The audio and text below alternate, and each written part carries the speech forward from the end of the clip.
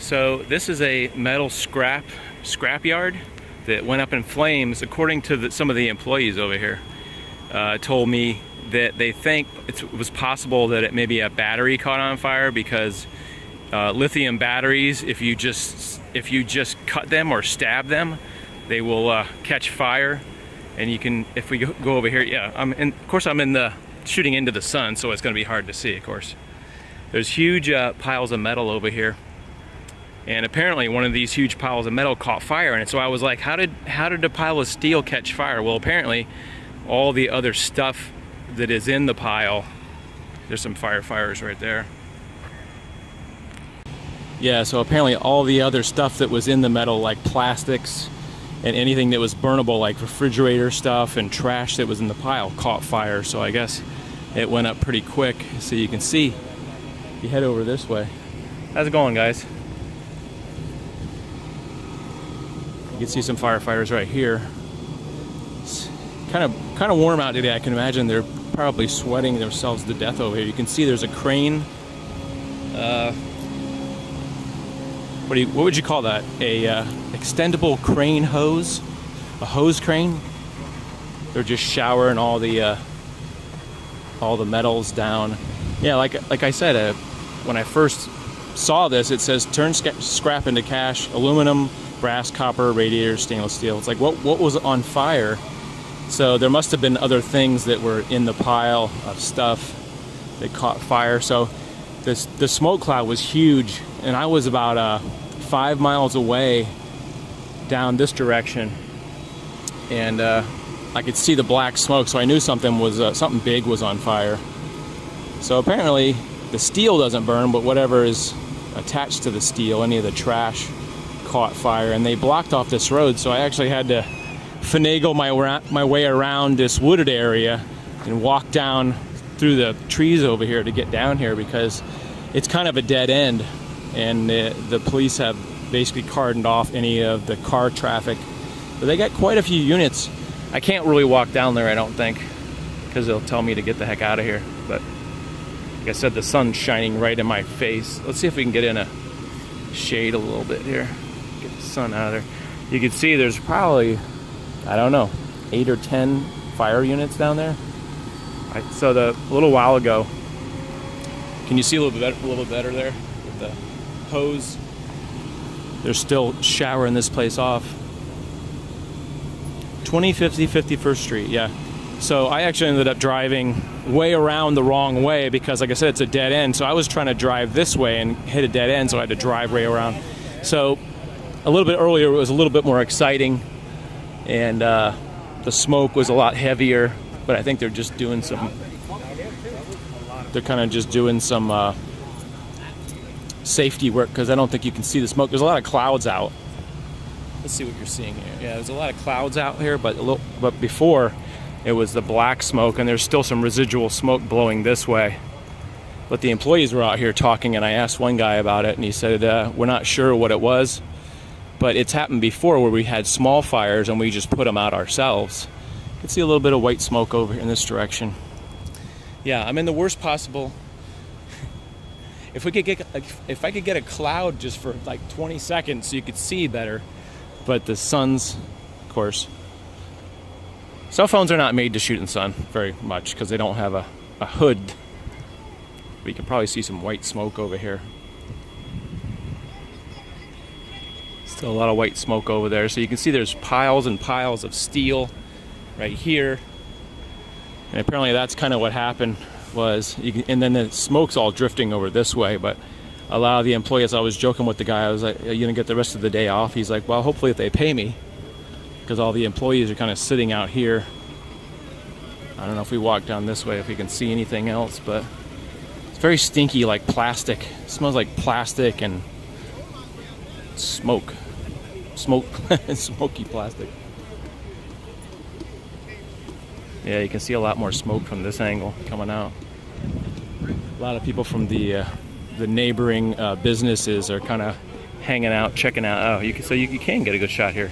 Like I said, the the uh, sun is backlighting it, so it's very hard to see. The sun would give us a break, you could see, but a lot of white smoke.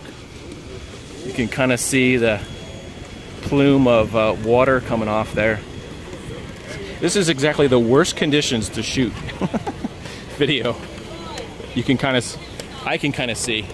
And right, right here is a. Uh,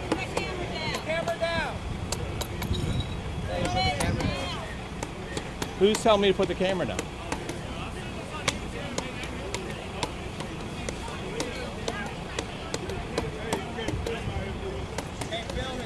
Who, who's, say, who's saying that? Huh? Who's saying that? Saying saying saying it. You can't do it. But I'm not on their property. This is the street. Hey, let me hold your phone. I need to call somebody right quick.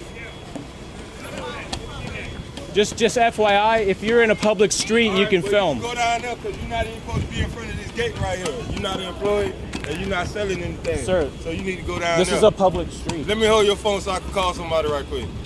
All right, then. Go down there. I'm just explaining the law. I to know, you. I know. I'm explaining it to you too. Go down there. The police just told us to tell everybody to get out of here. Public street, Public street. right? That's blocked So- off Hold on, hold on, hold on. But by law, that video you took in, I'm a professional the owner of photographer. this company has to give you permission to have that video. No, you're wrong. Sorry. You what. You're all wrong. I'm a I'm a press photographer, so I know the rules. Okay. Public street, you can film whatever you want. So just FYI, if anybody ever tells you that, that's actually actually wrong. If you're in a public street, you're able to film whatever you need to film. Anyway, I was trying to say.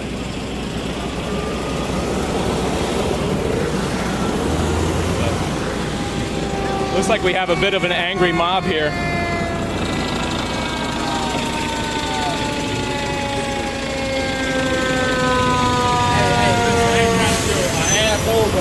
But the everybody to do Everybody's telling me to put my camera down.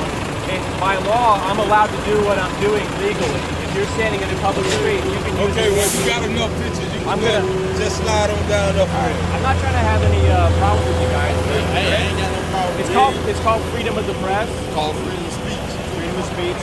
I know, I know, I know the law. I know the law real You can stand in front of somebody's house. Stand in front of somebody's house and shoot video. I know Alright. all that though. But but I'm just saying. I'm the not other trying to give you a hard time. I got you though. You did. You listen. You got the right, all right, and you and you can videotape me all day long, man. videotaping Just like I videotape you over there. You know what I'm saying? Because you just seen the phone. You just I just my I just want you guys to understand. I'm I just breaking seen my face just then, so I don't want you to sit there and videotape me and want to put me on the paper or anything else. Well, I have my camera down. So for some reason, uh, everybody's just a little upset, I guess, maybe because of the fire and everything. How you doing, man? Good. Do you know me? No, I was just saying hi. Uh, You were looking at me. Oh, yeah. Good.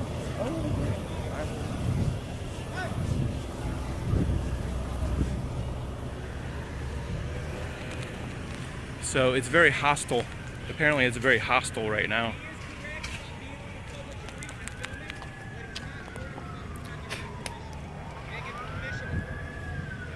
Guy's still still yelling at me back here. I guess he's telling his boss you don't have permission. Anyway, what I was trying to say earlier is so this this guy was trying to tell me that the police told them to get everybody out of the way.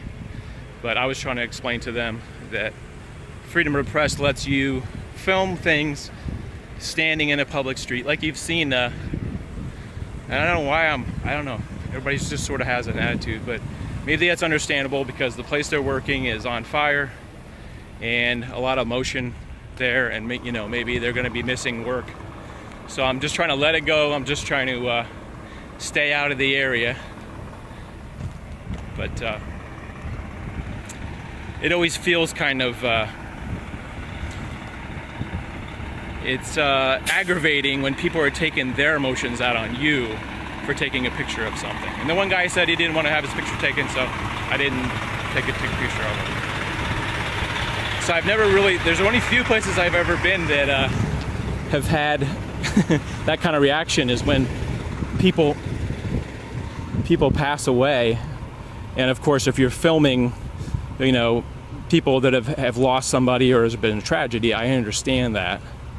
But uh, the other thing I understand also is being a photographer, a press photographer for over 25 years, that there is freedom of the press, and if somebody tells you you can't film, uh, you know, they need to have an understanding of that, I guess. But also, like I said, they were saying, they were also saying that the police doesn't want anybody standing there. Although the company employees are standing there, public street. Anyway, I didn't want to make this any uglier than it had to be, but you can see how big this place is. It's uh, starts at that block where the cop car is down there, and apparently it's this whole giant warehouse building, but I can understand. I have the feeling that one of the guys maybe, uh, what would you say, a fugitive possibly, or, you know, doesn't want anybody showing it. I'm surprised the press is not here. Maybe the press is on the other side, but anyway. The one guy in the red shirt was eyeballing me. I said, hi, how you doing? He walks up to me, and of course, he's wearing, he's still down there, and so is the other guy. I think they're following me. Well, the police aren't going to arrest me for using video, so. Uh, I don't know. They keep saying if the press sees that, they're gonna they're gonna erase it, which is not true. Anyway, so I guess I'm in for a long walk because I have to walk back around the building. It's been very exciting, very fun, and uh, I don't know. I don't know what else I can say about it. It's unfortunate. I'm sorry for the employees. I'm sorry for the owner of the business that that happened. Unfortunately, fire is just a, uh, I guess, uh, a fact of nature. Just like out in California, they're having a lot of that going on. So, I, uh, I'm gonna go take some, try to take some pictures and head on out. So, just a quick addendum. Man, the sun is brutal today. It's this fall sun that's killing me. Uh, just an addendum. I know my rights as a uh, as a uh, photographer and a press photographer. If you're covering anything that's public news, I mean, you're essentially, you know, an agent of uh, news, which I, I do cover, you know, news events as well as do other kind of feature stuff. But I was down there and firefighters were walking past me and weren't saying anything. And I also talked to another uh, guy, Carlos, from um, the, uh, the paper, Sarasota paper, and he was agreeing with me when I told him the story about how, uh, you know, I'm standing in public street and they can't, uh, you know, they can't say anything. So I'm not trying to have any hard feelings with anybody. I'm just trying to make it perfectly clear. So you've seen all that stuff, uh, National Enquirer type of stuff, or TMZ, where they're shooting. Well, they're in public areas shooting uh, celebrities, you know, in California and all that. And also, you know, press photographers go out on boats and film people in the water at their private villa. Well, I mean, that's that's part of our law is freedom of speech. And I'm not sure if it's uh, freedom of the press, if there's a specific amendment. I wasn't ready to talk about this. I have to, I'm going to look it up online when I get home. But just to let you know, I wasn't doing anything wrong. Here's a little. Here's the other side of the fire. See, I'm walking down the railroad tracks now, trying to avoid the angry mob of people.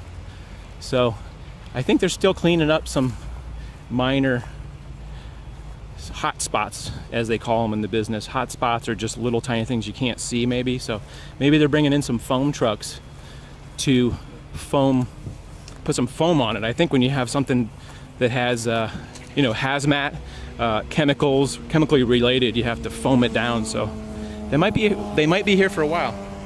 Anyway, thanks for listening. I hope you, I hope you guys learned something from this. Not to be intimidated by people when they tell you you can't film. Now, if you're in a private street in a neighborhood and it has a sign that says private street, that would be considered illegal. But this is not in any way a private street, it's a private way. So, so as long as we're clear, and I wasn't trying to aggravate people, and I wasn't trying to film people's faces. Uh, I don't think you could even see them because of the fact the sun is so bright and the picture was in such a uh, shadow that you won't be able to notice. But, uh, you know, I don't think I have to say anymore. See you guys later. Thanks for watching. I'm walking back to the railroad tracks to uh, retrieve my vehicle. See you later.